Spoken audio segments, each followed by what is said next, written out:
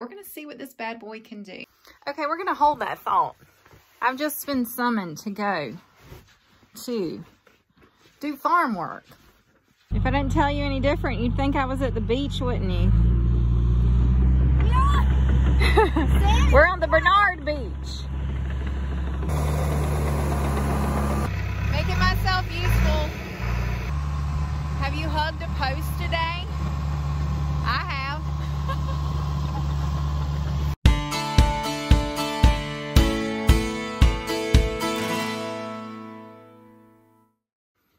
Hey y'all back in the kitchen. Um, so here's a thing.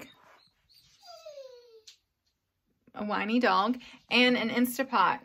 An Instapot showed up at my house recently. Thank you to the viewer that sent me an Instapot. So I guess I'm going to try to figure this thing out. Since it's here, we're here together. We're going to try to figure this out. It is late in the day. I forgot to take any meat out to thaw, so I'm actually going to use frozen meat. We're going to see what this bad boy can do. Um, I chose a recipe, eeny, meeny, miny, mo. Easy chili Colorado smothered burritos. Sounds good because I can use stew meat, and that's what I have an awful lot of left. I'm out of hamburger. I'm out of hamburger for another two to three weeks when we get our meat back. So, I'm going to try this. It sounds easy. I'm just worried about this thing blowing up in my face, in our house, all the things that can happen with these pressure cookers. I've heard all the horror stories. And so I've just, I'm just stuck to my easy peasy slow cooker, but I don't have time to do the slow cooker. So I figured while I have it, I would give it a try. So we'll see. Stay tuned. I will let you know shortly. So first I have to figure out where the plug goes. Where are you? Are you here? There you are.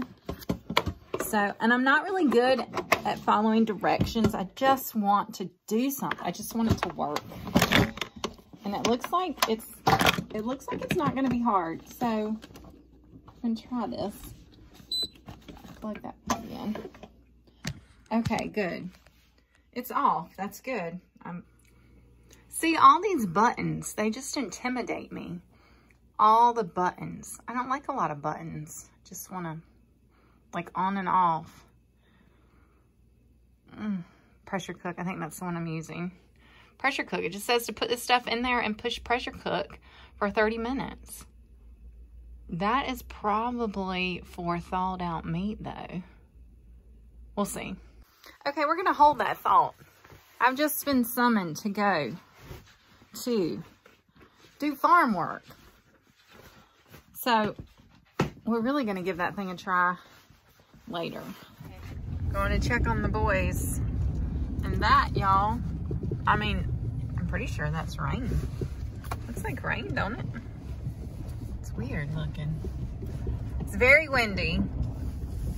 Very windy. Wind is picking up. Let's see what's going on. He's trying to get the dozer going. Still no luck?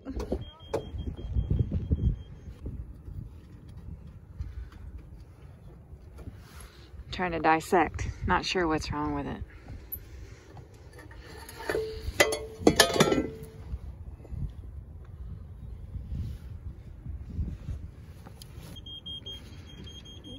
It's cold, isn't it? it's like, it's really dropping. It's cold, it's dropping. It may cause to fur. Mm-hmm.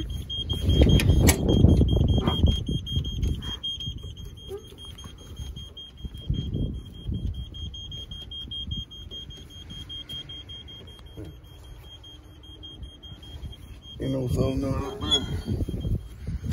Trying to find solenoid. Gus jumped up here and said he wanted to help. Wish you could. Okay, so the start fuse is not working. It could have something to do with it, maybe? You would think if it said start and it's blown, it wouldn't work.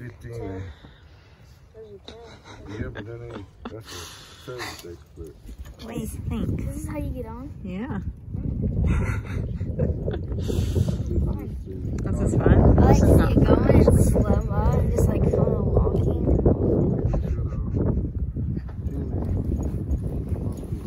10 and 2. 10 and 2. I'm driving, but I'm going to talk to y'all.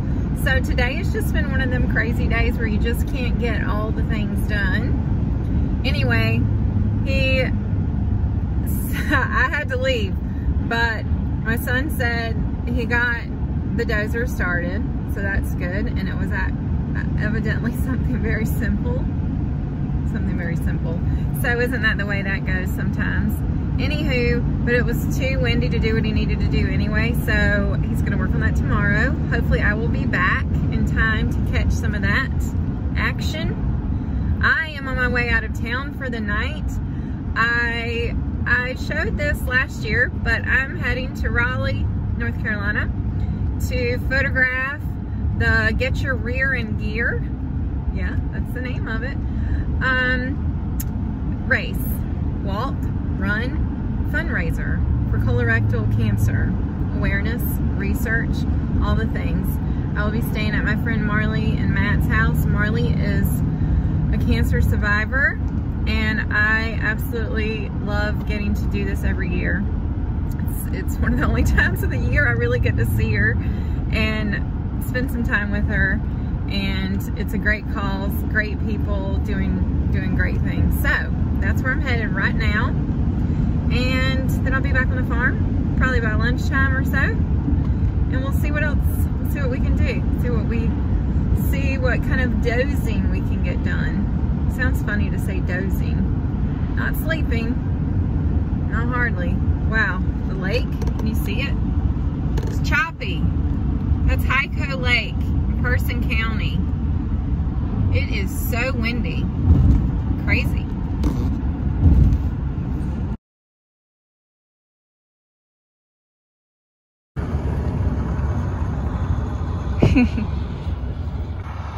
it's like a little girl driving.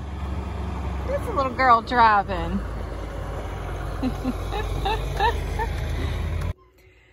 okay, as magic of video has it, I'm back with the Instapot, but it's been two, two or three days since I last tried because that evening, a neighbor Jim our awesome neighbor Jim, who brings all the vegetables in the summer, brought barbecue from down east uh, where he was working. So we ended up having that instead.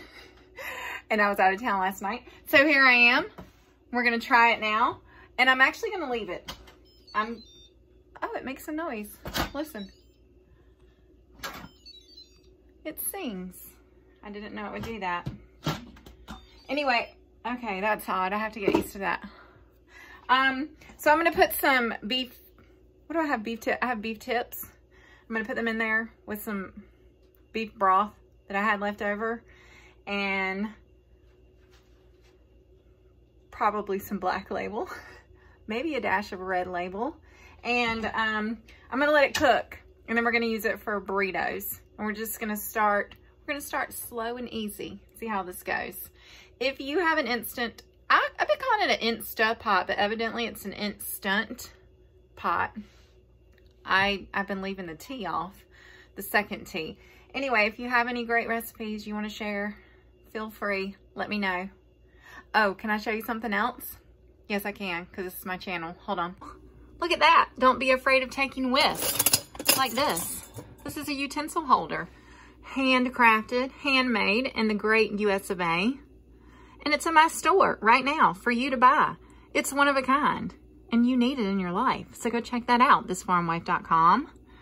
Look under the ceramic and drinkware section. And a new butter dish. It says spread butter, not hate. And mugs. This one is sold out. There's more being made. Farm Hard Live Well sold out, but I have Ranch Hard Live Well and um, yeah, more coming. So anyway, there you go. There's your commercial. The only commercial today is a commercial for me, for my store, on my channel. Does that count as a commercial? Probably so. That lady right there, that's my mom. Have I ever told y'all that? Yes, I have, but it's been a long time. There's a lot of new faces. That was my mom. She passed away June 13th, 2001. She was only 50. It was very, it was way too young. And I miss her. But I love having her over my shoulder every time I cook. And that was taken the night before she passed away. So, anyway, I just felt like sharing that again. Yeah. Hug your babies, love your people, tell them you love them, because we just never know. We just never know. We just never know when um, it's going to be the last time. I'm not going to cry. I'm going to cook some stew in the Instant Pot. Okay. Okay, my meat is half frozen, but I think you're supposed to be able to do that since it's the Instant Pot. And I'm just eyeballing it. I'm going to get wild and put some of this in now. Red label. All right, maybe a little more. Ward says, when you think you've put enough, put more. So, Ward, he's the owner. He's the master seasoning maker, chef, master of the musket powder. Musket powder master, that's what he is. Okay. And in true Marty fashion, because I'm in a hurry, I just made a mess. This has been congealed, if you want to call it that, in the refrigerator for a little while. And I pressed down on the fat on the top, and it splattered everywhere. So, that's how it rolls around here. I'm just going to put this in here because I feel like I, it might it might be too much. It might not be enough. But it's going to give it good flavor too. I feel sure it is anyway. We'll hope. Okay, if you've been here for more than two minutes, you know I just don't really like recipes. I mean, I don't like following recipes. I like doing my own thing. It's just what I do. There is a recipe in here for easy chili Colorado smothered burritos. I may have already told y'all this. I can't remember what I said two days ago. I can't even remember what I did two hours ago. Anywho, it calls for three pounds of rump roast. We're not using that. We're using beef tips. 16 ounces of enchilada sauce. Pretty sure I don't have any enchilada sauce. Two beef bouillon cubes. I'm not using that. I'm using actual beef broth. Half a cup of water. I don't need that because I actually have the broth. That's all it calls for, and it just says to cook it for 30 minutes. And use it when it turn off when it beep sounds turn off pressure cooker and use a natural pressure release for 10 minutes oh i thought i could just let it cook but i have to be here when it cuts off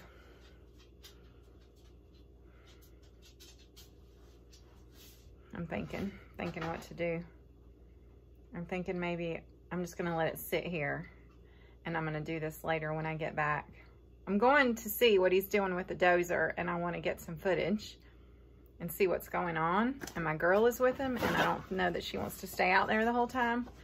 So, okay, we're going to hold this and I'm going to try it when I get back. I'm probably not going to do any more following other than the 30 minutes. Or I'm going to put it on. There's an actual button that says meat and stew. So that should work, don't you think? It's stew, it's meat. Okay. We'll try it. It's going to be enchilada meat without the enchilada sauce. We're just going to make it, just going to make it what we want to make it. Maybe we won't even put it in a burrito. Maybe we'll just put it over some rice or something. I'll figure that out later. Man, it's a pretty day. 52, sun shining. That little hayfield is greening up, y'all. I'm just ready to be back out there again. I really am. Itching. Itching to be in the hayfield.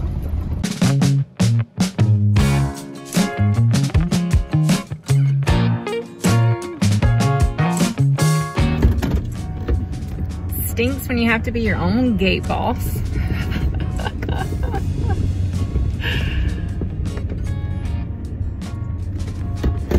I'm just lazy.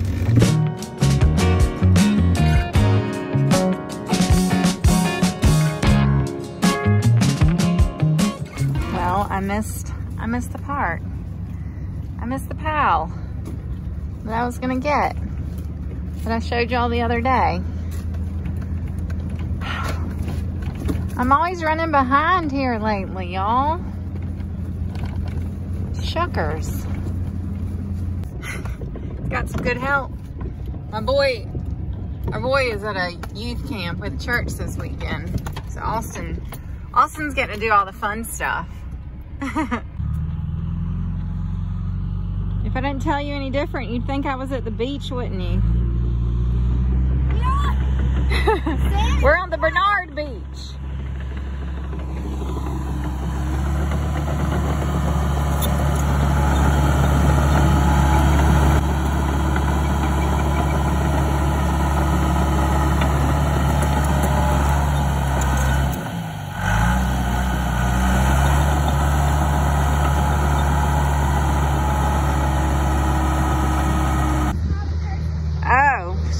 Drawing in the sand.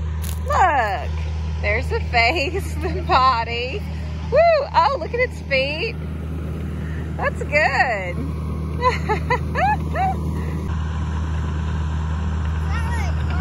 Let's see. that was good. Woo! That's good. Y'all, she has no formal training. So I'm saying she's doing really great. I mean, really. I mean, I couldn't do it.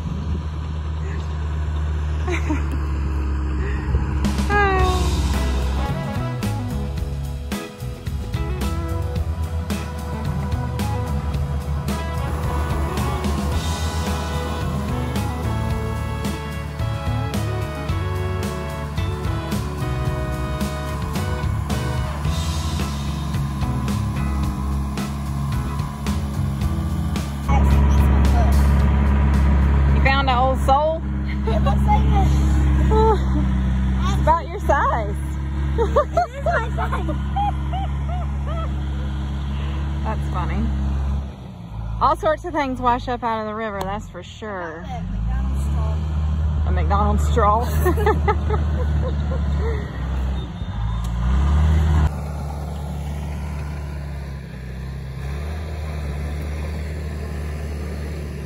All this bank was washed away. All this flooding that keeps happening is just making it's just making the banks that much more eroded. It's, it's really bad. It's really not good. Hmm.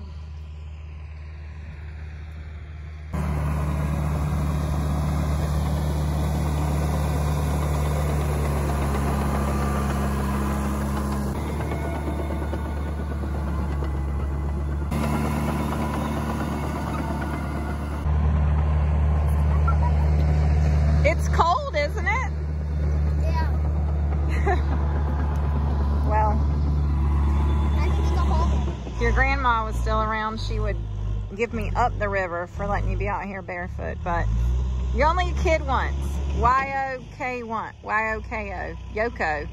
Not YOLO, but Yoko. You don't even know what I'm talking about. Making myself useful. Holding the post up so he can go under it. I'm not just a gate boss, I'm a post boss. Yeah.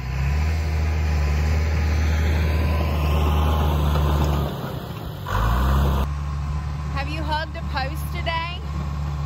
I have.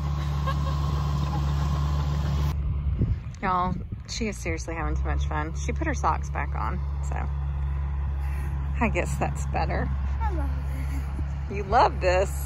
Oh my goodness. Oh well. This is called making lemons out of lemonade. I mean, no, making lemonade out of lemons. Making when life sand. gives you lemons, make lemonade. When life gives you flooding, you get sand and play with it. You play in the sand. oh my soul. Well, she ought to sleep good tonight. I don't know if y'all are having fun watching this, but it's about all I got today It's coming in from a different direction now. Oh my gosh, it's a lot of sand. When he starts pushing it like this, it makes it look even deeper. I mean, it, it just makes it look like even more.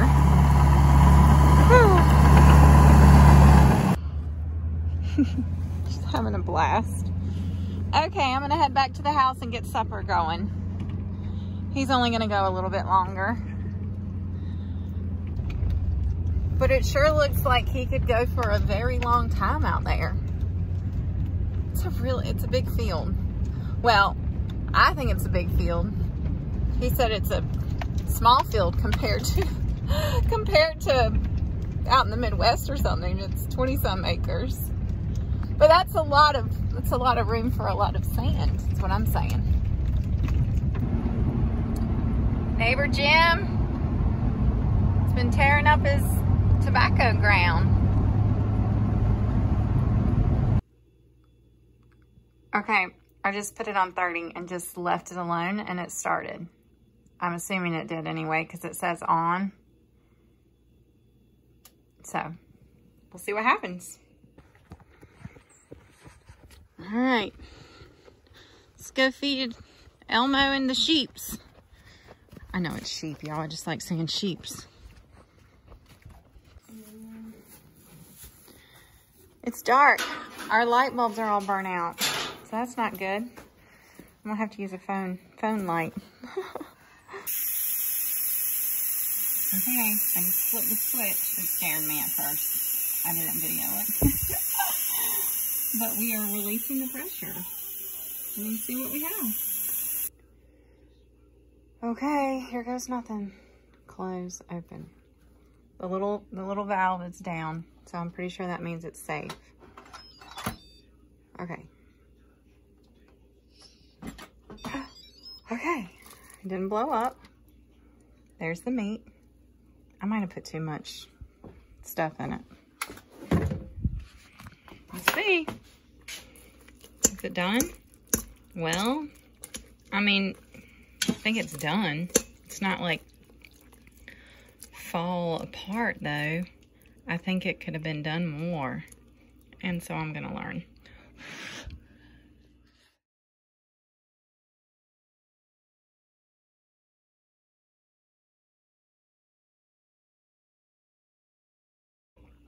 Sweet.